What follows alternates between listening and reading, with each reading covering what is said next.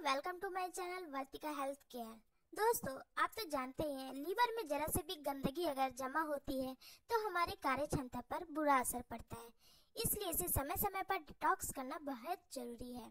तो चलिए आपको बताते हैं, लीवर में जमी गंदगी को खींचकर बाहर निकालने वाले सेवन फूड्स के बारे में। हम आपको बताएँगे ऐसे फूड्स जिन्हें खाने से आप अपने लीवर को नेचुरल तरीके से डिटॉक्स कर सकते हैं। दोस्तों, फाइबर वाले फूड्स जैसे कि सेब, गाजर फूल गोभी चुकंदर आदि शरीर में विषाक्त पदार्थों को बाहर निकालने के लिए मददगार माना जाता है।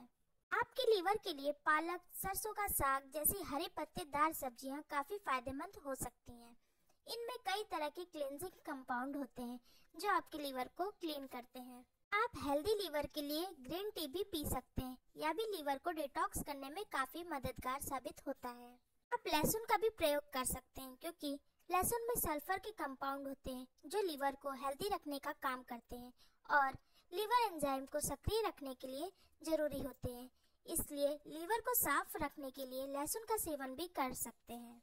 बात करते हैं हल्दी की। हल्दी को सबसे शक्तिशाली मसालों में से एक माना जाता है। ये लीवर को नुकसान से बचाने और लीवर सेल्स को जनरेट करने में मदद करता है।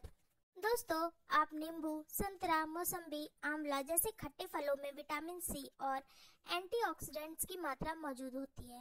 ये सभी फल लीवर को नेचुरल तरीके से डिटॉक्सिफाई करने का काम करते हैं। तो आप भी इन फलों का सेवन करके अपने लीवर को डिटॉक्सिफाई कर सकते हैं।